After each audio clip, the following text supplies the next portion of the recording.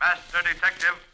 Yes, it's another case for that most famous of all manhunters, the detective whose ability at solving crime is unequaled in the history of detective fiction. Nick Carter, Master Detective.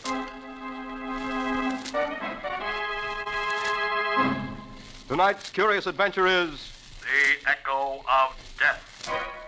Or Nick Carter and the Phantom Clue.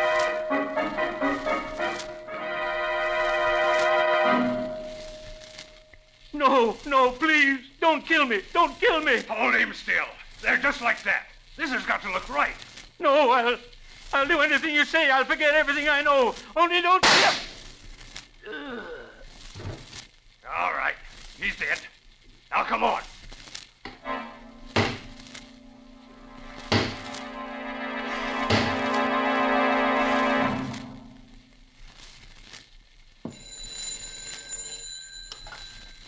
Hello? Yes, this is Nick Carter speaking. A case? What kind of case? A disappearance. Well, that's hardly in my line. Uh... Oh, I see. Yes. Yes. Yes, I understand. All right, expect us late this afternoon. Did you get that on the extension, Patsy? I should say so. Echo Valley Lodge, private amphibian plane waiting for you at the airport. Come at once, never mind the fee. who is this Howard Manstead who tosses money around like confetti? A well known millionaire sportsman, Patsy. But um, wouldn't it be more to the point to ask about the man who's disappeared? Oh, you mean James Thurlow, the columnist. Why, he's. He. Say, who is he anyway? That's what you get for not reading the financial pages of the paper, Patsy. Well, come along. We've got to find a taxi and get to the airport. Well, aren't we going to take anything with us? Oh, yes, of course. I was forgetting. I thought you were. I'll need my new dress. We'll want my- Scubby. Call him and tell him to meet us at the airport. He knows Thurlow. They write for the same paper. But aren't we going to Oh, and ta- one other thing, Patsy. Bring along volume three of the encyclopedia, E to H. Scubby Wilson and volume three of an encyclopedia. That's just what a girl needs for a visit to a millionaire's hunting lodge.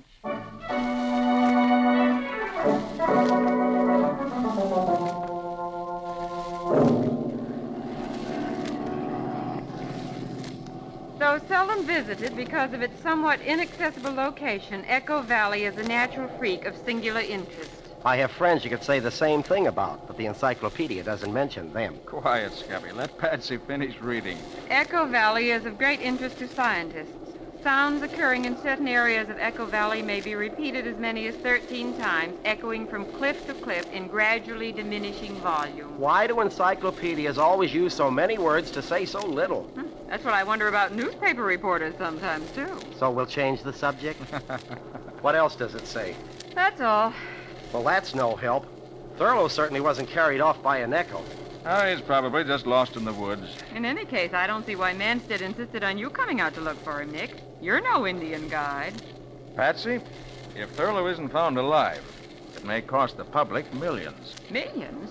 Well, he's just a columnist, isn't he? Just a columnist. He's the smartest financial reporter in New York. And Thurlow's more than just a reporter, Patsy.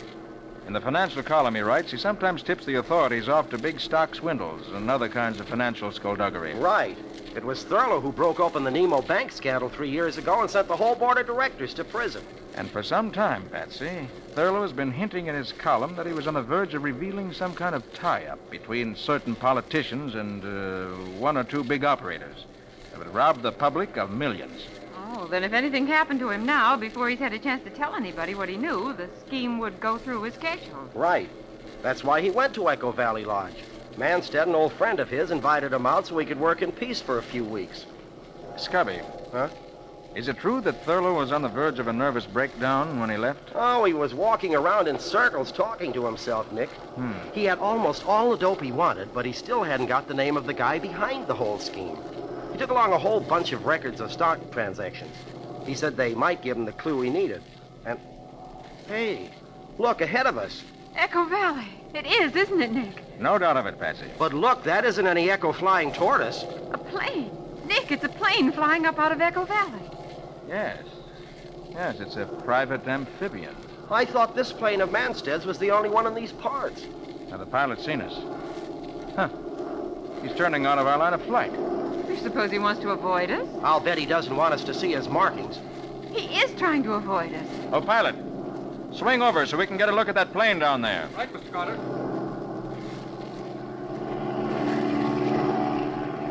He knows we're trying to get closer to him. Look at him bank to avoid us. He's turned back. He's heading away from us now. Oh, pilot, overtake that plane if you can. Yes, Mr. Carter. Say, isn't that the Manstead hunting lodge down there, right on the edge of the lake? Yes, Scubby, it is. But we're not going to land until we get some idea what that plane's up to. Look, he's diving straight down now. He's going to try to get away underneath us.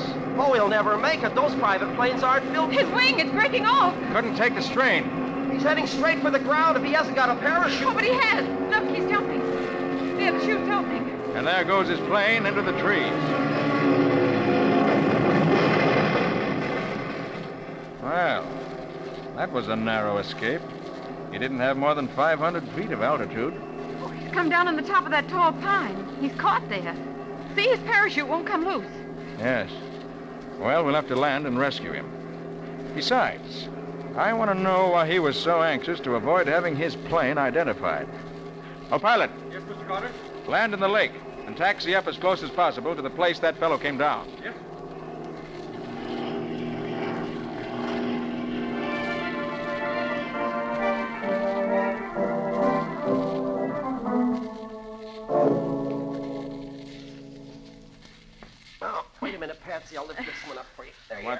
That branch doesn't thanks. snap back in your face, Patsy. Oh, well, aren't we almost there? Yes, there's the clearing. Just ahead. Only a few more steps. Oh, and they say exercise is good for you. Oh, there. There's his parachute. I think I can see him hanging among the branches. He's hurt or he'd call to us. Come on. His shroud lines are caught among the branches. I can see that much. Well, he's just just dangling there. Yeah. Hey, you up there. Can you hear us? You all right?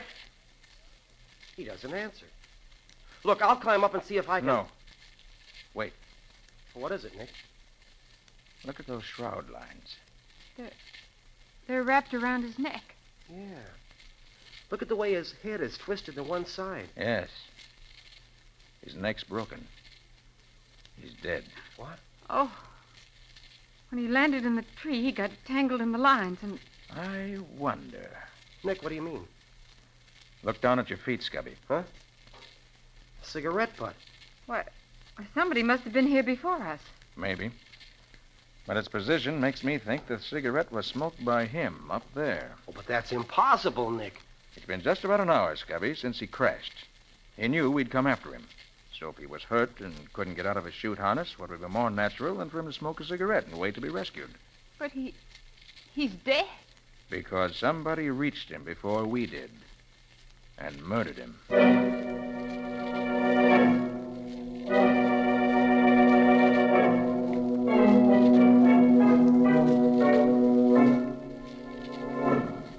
And so that's the story, Mr. Carter. As much as we know, anyway. Thurlow just wandered away yesterday morning and never returned. Hmm, I see, Mr. Manstead. And you don't think this mysterious airplane we met just before we reached here has any connection with Thurlow's vanishing? Well, I don't see how it could. But then, as I said, I haven't the slightest idea where the plane could have come from or who was flying it. Yeah. Now let's go over the facts again, if you don't mind. Oh, of course not. Thurlow arrived here a week ago. Yes, with his wife. I had them flown in in my plane.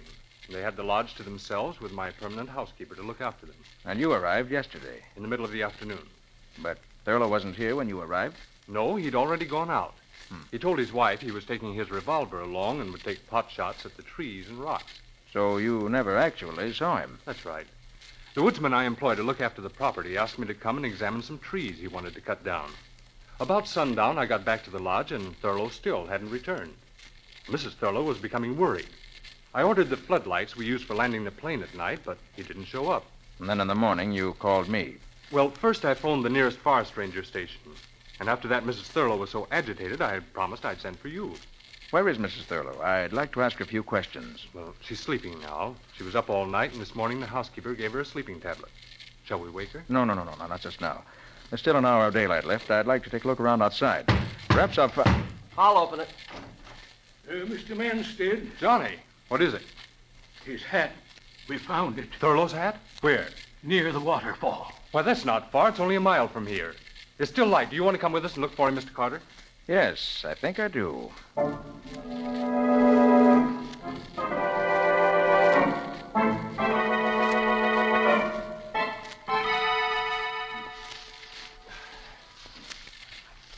gosh, my ankle. Oh, boy. There, there. There's the hat, Mr. Manstead. In that bush. But what in the world could Thurlow have been doing in here? This isn't a trail to the waterfall. It isn't a trail at all as far as I'm concerned. It's a jungle. It used to be a trail to an old one-room cabin, but there's no reason Thurlow would go there.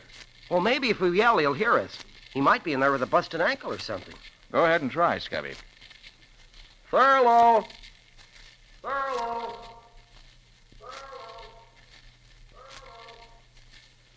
Good gosh, will you listen to that? Well, that's one reason this is called Echo Valley.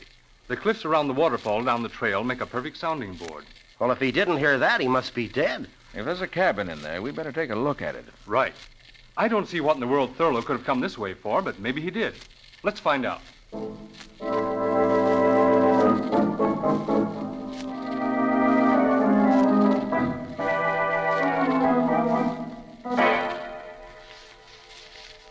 There it is. Where, Manstead? Oh, there, between those two trees. See it? Oh, yes. It's only another 40 yards. Well, come on then. Oh, Scubby. Wait. Well, sure, Nick, what is it? That bare patch of ground there. Those footprints. Thurlow's footprints. You sure, Scubby? Sure. I've seen those pointed shoes of his too often not to recognize the footprints anyplace. Come on, Nick. Um, yes, yes. I'm coming. Thurlow's a tall man, isn't he, Scubby? He's a tall man like I'm Henry Ford. He's about five feet five. Why? I thought that. Well, never mind. There's the cabin. Gosh, it doesn't look as if it had been opened in years. Well, it hasn't that I know of. But there are Thurlow's footprints going right up to the door. And somebody's opened the door recently. Look at these broken spider webs around the door jamb. But it won't open now. Here, let me try. It ought to open without any trouble. Yeah, but it doesn't budge. That's strange. Let's take a look through the window. The window's boarded over. The boards haven't been touched. I nailed the window up myself three years ago. Nobody came here since. And someone has come here. Thurlow. And he must be inside now. But the window hasn't been touched, and the door is barred on the inside. It looks bad. We'd better break the door down. Suppose we have old Johnny use his axe on it. That'll be quicker. Of course. Johnny, smash the door open for us. Stand back, please.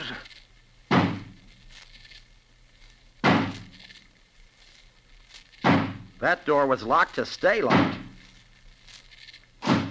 Starting to go. That does it. It's open. If you don't mind, I'd like to go in first. Of course. Uh, it's dark inside. Here, take my flashlight. Thanks. There he is, Thurlow. He's. He's dead. He came here, bolted himself in, and shot himself with his own revolver. Yes, he's dead, all right. And it does look like suicide, doesn't it?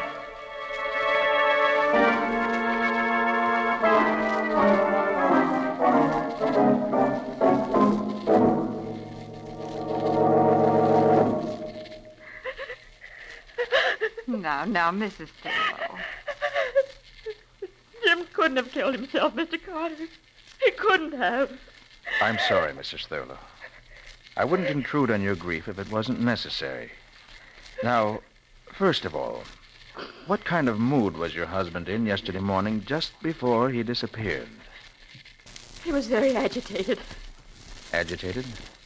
Well, do you know any reason why he should have been? I think he just found a clue to the identity of the man he was seeking. The one behind this plot to upset the stock market. Did he say who it was? No. No, he just said he'd stumbled on a clue. And he was so shocked he could hardly believe the evidence. That was why he went out into the woods. He wanted to be alone to think the matter through. Perhaps his notes will tell us what he found. Yeah, I thought of that, Nick. After Mrs. Thurlow woke up and I talked to her while you and Scubby were out with Mr. Manstead, we tried to read his notes. But they're in some kind of a shorthand that nobody can read but himself. I can make out a few words here and there, but not enough to help. Well, we'll have another try at it later. Uh, please go on, Mrs. Thurlow. Well, that's almost all, Mr. Carter. Jim went out about ten in the morning. I stayed here in my room reading. About half an hour later, I thought I heard a shot. All of a sudden, I was terribly frightened. Frightened? Of what? I don't know. It was just a feeling. Then, then I heard the far-off echo of somebody hammering. It was. Oh, it, it sounded like somebody hammering down the lid of a coffin. And I'm positive it meant that Jim was dead. It's probably someone chopping down a tree she heard, Nick. Anyway, she went back to her reading and forgot about it. Then around one, Manstead phoned from the village, this little town about ten miles from the hills, for Johnny to come for him in the station wagon. Manstead phoned. But didn't he fly in by plane yesterday? Seems not. The plane was in New York getting a new propeller, so he took the night train. Is that so? Anyway, Johnny went to meet him. He got here about 2.30. The rest of the story is just the way he told it to us. Nick Thurlow must have killed himself. There just isn't any other answer. I wonder, Patsy. I wonder.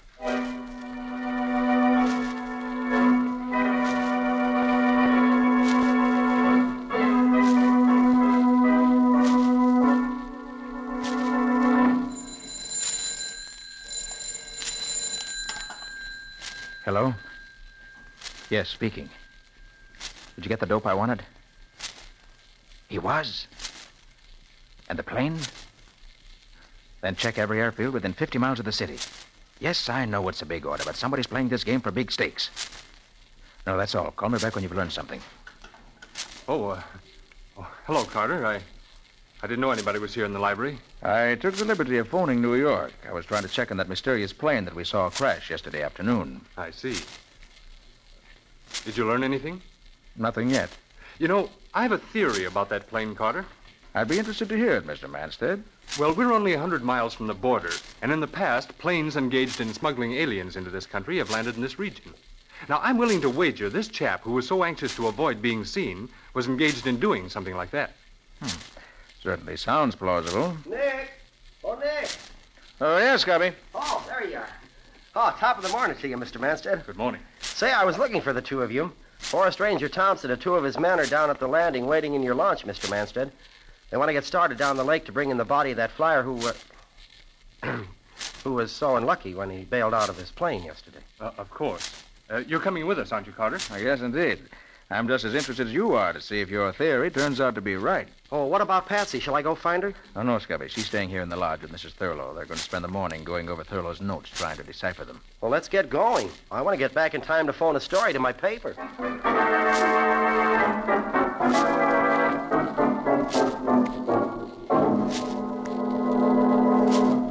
Ah, I'm afraid it's no use, Miss. Please, just call me Patsy. It's just impossible to read these notes of Jim's, Patsy. They're not only in his own shorthand, but most of them are in code, too.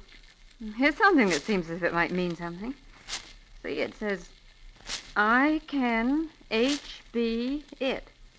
H B. Mm-hmm. Hardly believe. I can hardly believe it. Yeah. Of course, that's what it means. And here's some more. It's clearer. Shall I tell Manstead what I know? The next line. Better not. Instead, must get back to New York. Well, that's clear enough. But the next line. My life. M B N D. That doesn't mean anything to me. My life, M.B. in D. My life may be in danger. Oh. And then there's just one last sentence that he never finished. To think that the one man in the world. That's all there is. Oh. Oh, if it only finished. To think that the one man in the world. Oh, who do you suppose he could have meant? I can't even make a guess. The one man. Mrs. Thurlow. What, Patsy? Mrs. Thurlow, we're going to go and take a look at that cabin now while all the others are away. I have a theory, and we're going to find some evidence to prove it. It has to be there. It just has to be.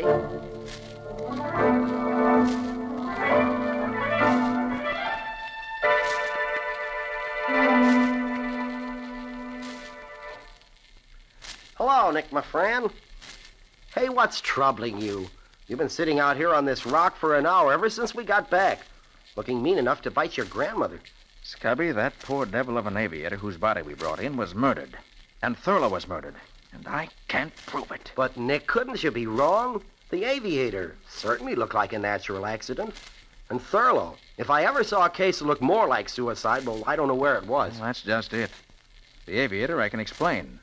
Someone slipped through the woods, reached him before we did, climbed the tree he was caught in, and strangled him with the shroud lines in his parachute while pretending to help free him. But Thurlow, his own footprints leading into the cabin. The window boarded over and the door bolted on the inside. If somebody killed him, well, how did they get out? I don't know, Scubby. It isn't possible. Yet it was done. I'm going to break the. Hey, Scubby, what's that in your hand? Oh, just a shiny new nail I picked up somewhere.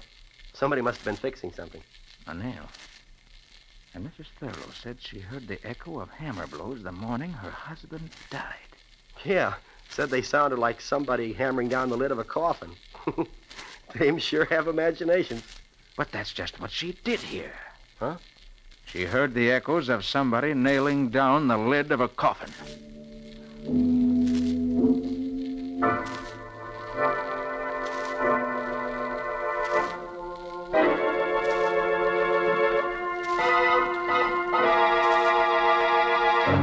But there must be a clue.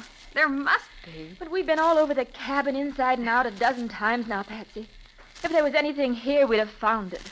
Mrs. Thurlow, somehow your husband was murdered here, and his body left inside this cabin so it would look like suicide.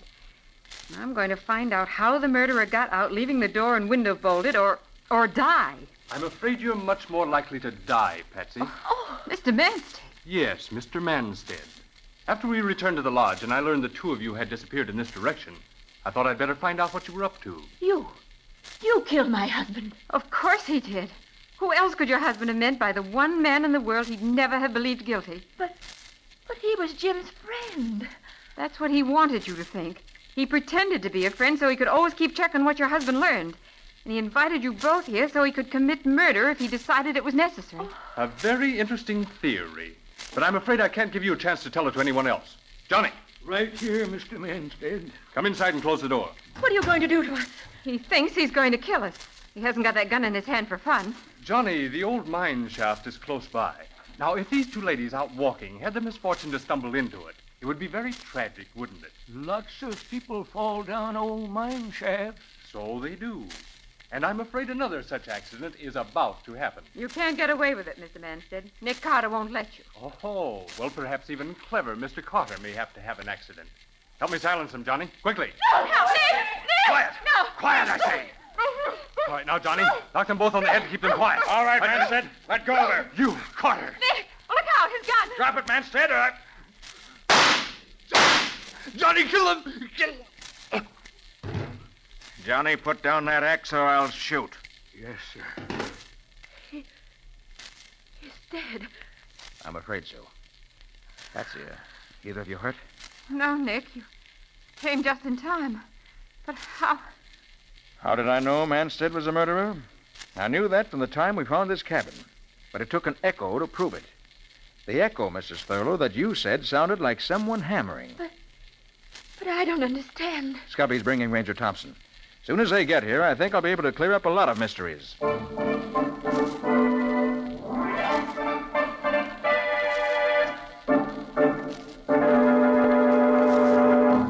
So Manstead was behind the plot that Thurlow uncovered. He invited Thurlow here in order to find out what he knew. He discovered Thurlow had evidence which would tell him the truth, and therefore decided to eliminate Thurlow. But, Mr. Carter, Manstead didn't get here until after Thurlow was dead. He came by train. And... Well, Ranger Thompson's right, Nick. He appeared to come by train. Actually, he flew in the night before in a plane whose pilot was used to taking big fees for keeping his mouth shut. That was the plane that we saw crash. Something delayed it from leaving in time to avoid us, and in the pilot's effort to keep away from us, well, we all know what happened. But, Nick, why was the pilot murdered? That was Johnny's work. As soon as Thurlow saw the crash, he sent Johnny by a secret trail through the woods to make sure the pilot didn't live to talk. Otherwise, his murder scheme would have collapsed. Isn't that right, Johnny? Yes, sir. So Manstead flew here the night before he murdered Thurlow. In the morning, when Thurlow left the house, he and Johnny waylaid him. Is that it, Nick? That's it, Patsy. They brought him to the cabin here. Manstead put on his victim's shoes and made a trail of footprints. I see. Then they killed Thurlow, put his shoes back on him, and left him in the locked cabin. A clear case of suicide. But Manstead made a mistake there. His footprints were too far apart. They were the steps of a tall man. When Scubby said Thurlow was a short man, I began to suspect. Well, it certainly does sound plausible, Mr. Carter. But you've still got to convince me Manstead could get out of that cabin and leave the door barred from the inside. Make it good, Nick. Johnny knows the answer. You all remember that Mrs. Thurlow said she heard the echo of hammer blows. You mean she really did hear someone hammering? Exactly. This is a small cabin with a roof lightly nailed in place. Now look up there. What's that flashing in the sun? Looks like nail heads. Somebody's hammered new nails into that roof all along this side. Nick, is that the clue I was looking for? That's the clue you were looking for. Scubby and I saw it yesterday, but we weren't smart enough to know what it meant.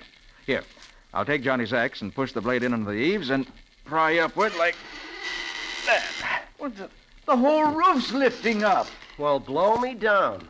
Manstead and Johnny pried up the flimsy roof before they killed Thurlow. Then, leaving the door barred, they climbed out. And Johnny nailed the roof back into place. Right. So they were hammering the lid on the coffin, so to speak. Thurlow's coffin. And due to the curious echoing qualities of the rocks, the sound carried to the lodge, and Mrs. Thurlow heard it. I didn't think it meant anything until I noticed the nail Scubby picked up someplace. The nail Johnny must have dropped. And then I remembered the hammering sound Mr. Thurlow spoke of. And suddenly the whole thing was clear. Well, it sure wouldn't have been clear to me if you hadn't explained it, Mr. Carter. I certainly wouldn't ever have worked it out with just an echo for a clue. Oh, but that was an unusual echo. Remember how cleverly it answered? And when it comes to answers, Scubby, Nick Carter is the man who gets them.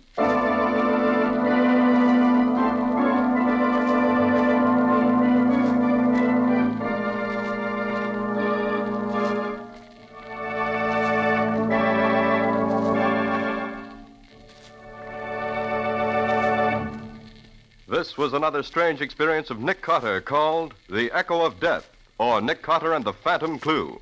The curious adventures of Nick Carter, Master Detective, are brought to you every Monday night at 9:30 Eastern Wartime. We'll let Nick himself tell you about next week's story. What'll it be about, Nick? I call it Death Across the Tracks. It began with the murder of a detective. A railroad detective who lived in the station alongside the tracks. He was working on a case, but he had it only partly solved when he was murdered. And I picked it up from there. I'll say you did, Nick. You almost picked up a few bullets into the bargain the way the victim did. when you called it death across the tracks, you were right in more ways than one. This sounds more and more intriguing. And how did it wind up, Nick? Well, we'll tell you that next week. But I can say this much. I had a stroke of luck. Nick always calls it luck when he uses foresight. Good night, folks. Yes, good night, folks. And good night, Patsy and Nick. In tonight's strange adventure, Nick Carter was impersonated by Lon Clark. Patsy was impersonated by Helen Choate. Original music was played by Lou White. The entire production was under the direction of Jock McGregor.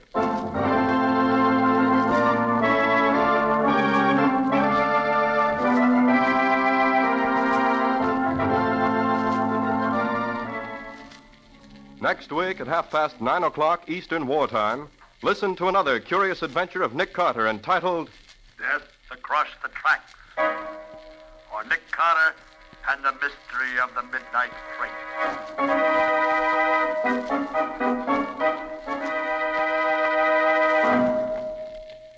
This story is a copyrighted feature of Street and Smith Publications, Incorporated. And here's a special note.